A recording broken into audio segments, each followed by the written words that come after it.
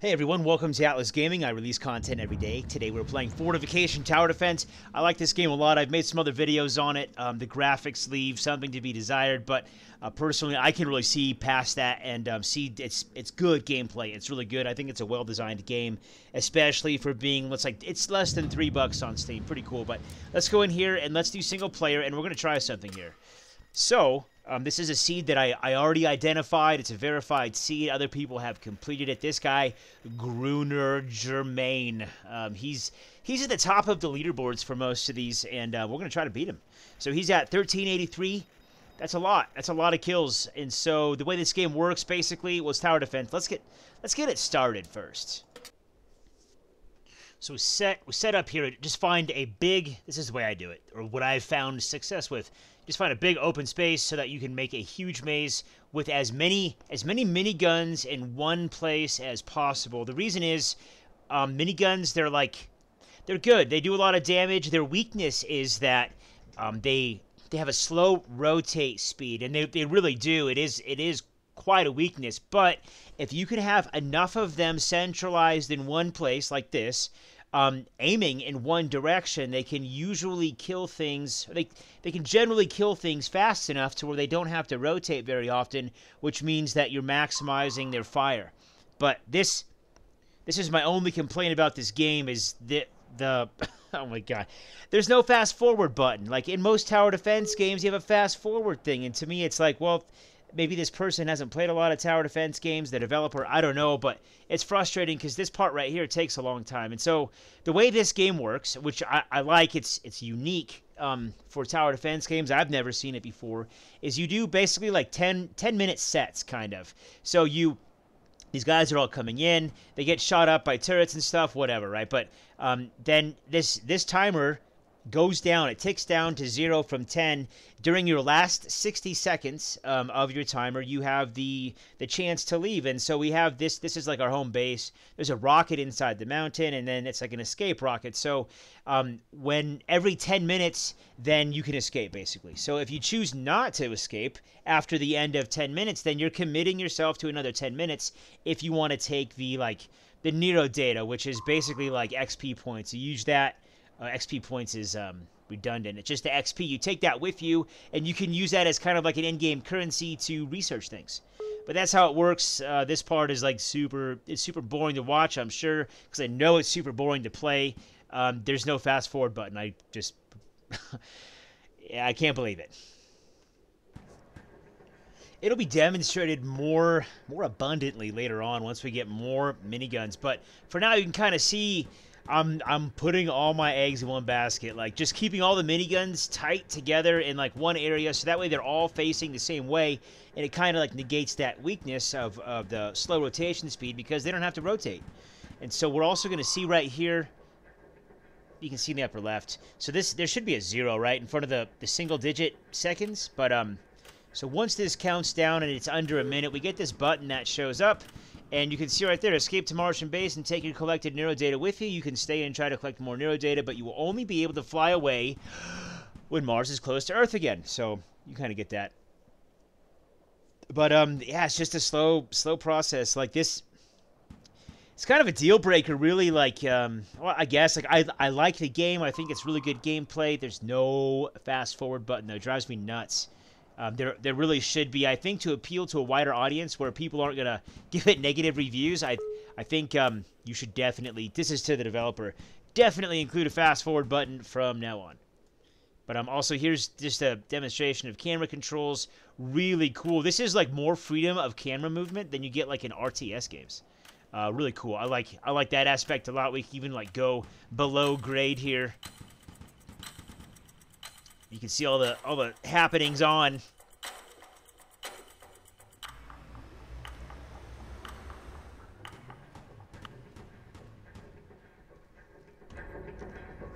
We're approaching our uh, our our second chance at leaving. We're not going to. I just uh, the the music in this game is just something else. There's a lot of variety. Um, some of it's like intense or you know kind of it's not intense, but it's like um overbearing. I don't know what the word is for it, but it is there. It, has a presence. Maybe that's the word for it. But you can see over here, um, I built like another kind of maze out here, and I was gonna like I was gonna terraform all this and get rid of it, which we can do. But you can see right here, it costs 60 to get rid of one of these brown ones. It's too expensive. So I, that's one thing about the game, like maybe criticism. It's not like a complaint, but I think terraforming is too expensive for for what it does. It's not worth the cost.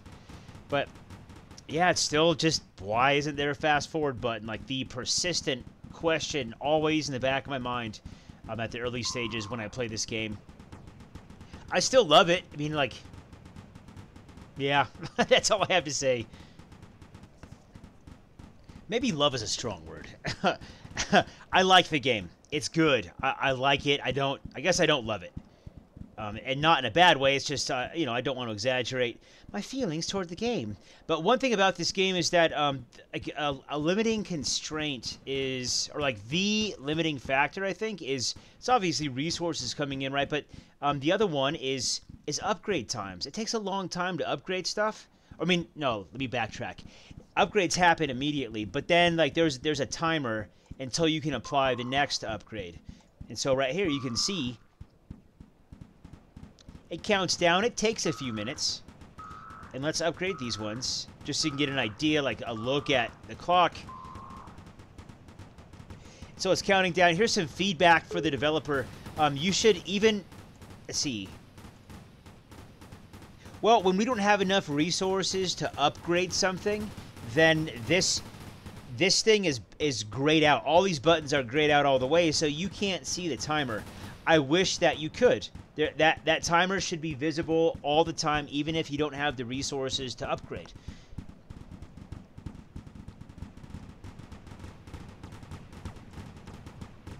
But you can see right here the this is this is the strategy basically. You put a bunch of these Gatling Gatling guns in one place so that way they can destroy things quickly enough that they don't have to rotate too much. Also, you can see I'm not putting them here in the center because then they have to they have to track. It's too hard for them to track effectively, and so I put them all on the outskirts so that way um, they don't have to move as much in order to aim at the same target as the target moves laterally across their field of fire. And yeah, you know what? I'm making a strategy video for a game that probably no one will ever play who's watching this video, and I'm okay with it. I'm okay with that. Please hold. We have incoming. This is what I'm worried about. All these like magenta colored crabs, these they're pretty tough. And then um these are the hard ones. And so our defenses, as we upgrade them, you can see that they change color. The darker they are, the more deadly they are, the more upgrades they have applied.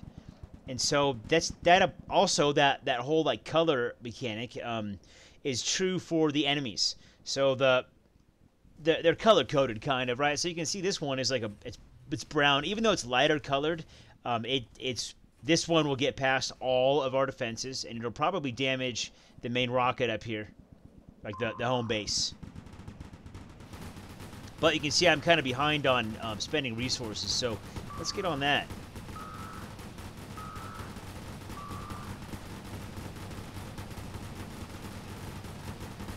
Oh, we're out. We're out of resources. Okay. And you can see all these black marks. Um, the, the Gatling guns aren't the most accurate weapon, but when you have this many rounds being fired, it doesn't really matter, right? That's, that's a Gatling gun in a nutshell.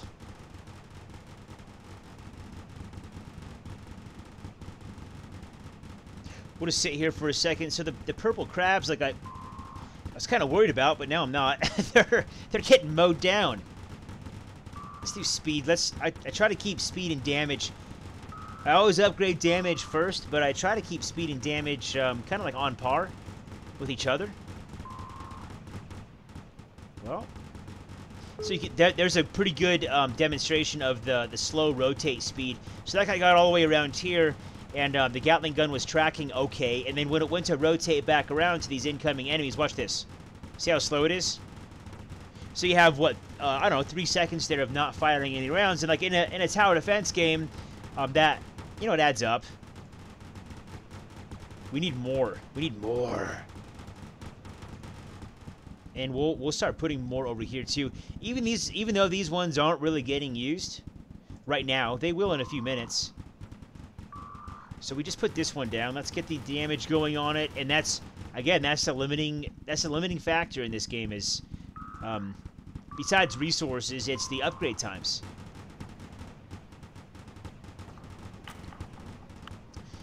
Here comes the moment for decision here. So, I mean, like, I'm, I'm literally just making this video to kind of, like, show my strategy for this game that probably no one will ever play. And then also, um, we're trying to get on the leaderboard, right? Like, in first place and beat beat the Grunengaunen guy.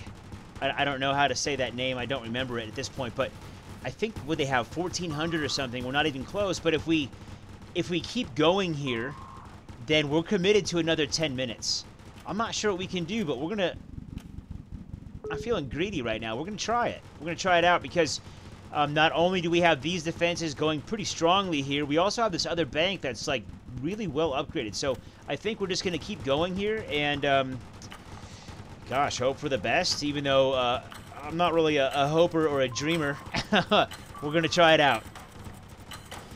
Tick, tock, tick. 10 minutes.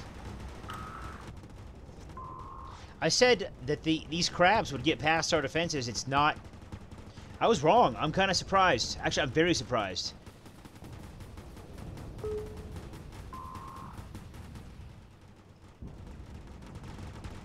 This this one. This is the one that I was talking about, but it seems like they're kind of like changing color as they take damage. I'm not sure if that's an intended uh, effect in the game or if it's just happening or if it's like to animate their their death throes as they get put down by 100,000 rounds from Gatling guns. I have no idea. But everything's going pretty strongly here still. Here's one of those brown or beige or tan, whatever crabs. I think these defenses will take it apart no problem, though. Trying to keep everything upgraded as we go. Um, again, that's like, it's, you want to like set, you want to set the timer, or start the timer on um, turrets as soon as possible. Because, you know, like then it's just, again, it's a limiting factor of the game. It's part of the strategy is that you just want to keep, keep upgrading and keep, um, I guess, if you envision time as a resource in this game, then like, and you applied it to that timer, then that's part of like maximizing your resources or spending them.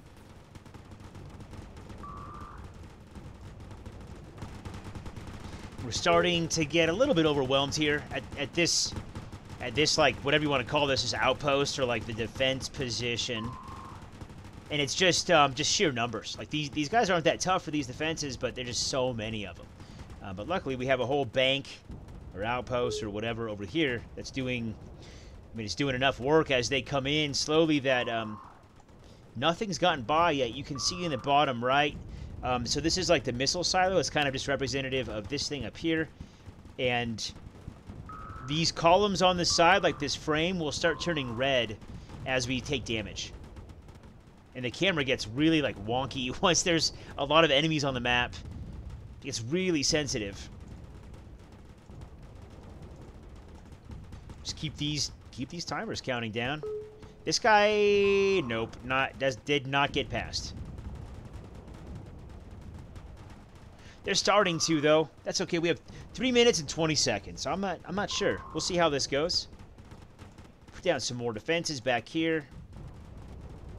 Come over here. Um, make sure that everything's being upgraded. So once they get to this color, like I'm pretty happy with that. After that, the the um, the upgrades are really expensive. They're like 200 something, and I could just put down another another turret for that. This guy's probably gonna get past. And they climb up stairs really quickly, or the ramps, and so... Yep, there he goes. That'll be the... Oh, no, that's a second damage. We just took some when the screen shook. But here, here are the brown crabs. That's what I was talking about before. They're tanky.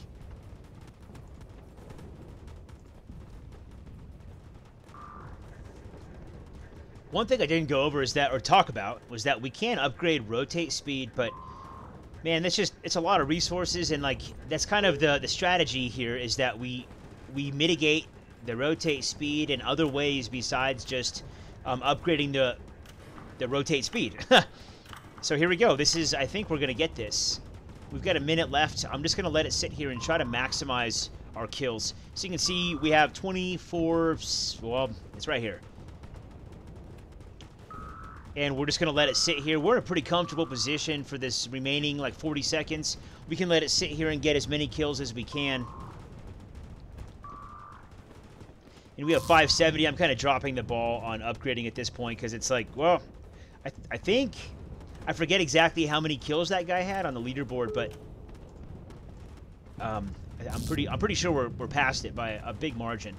And so I'm okay with not upgrading everything, although that's what I'm doing as we speak. We have uh, about 10 seconds, 12 seconds.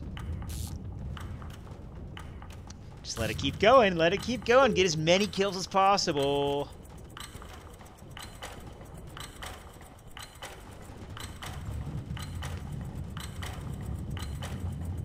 And that's it. So we take all the like the the prize for winning is that we take all the Nero data with us, or like the XP. That's all it is, just the XP. And so we get back to the main base or to the home base, whatever, and then we can research things.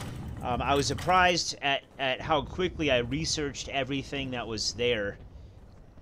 And so like we got 17,700 Nero data, but um it's it's not going to matter. Yeah, so we did pretty good there. 2666. That's it for this one. This game is called Fortification Tower Defense. It's like $2.50. If you like tower defense games or kind of like more casual games where it doesn't like require your your all of your attention and it's not like twitchy play at all, then you should check this one out. It's less than three bucks on Steam. Thanks for watching Atlas Gaming. I appreciate it. Please like and subscribe. I release content every day. We'll see you in the next one.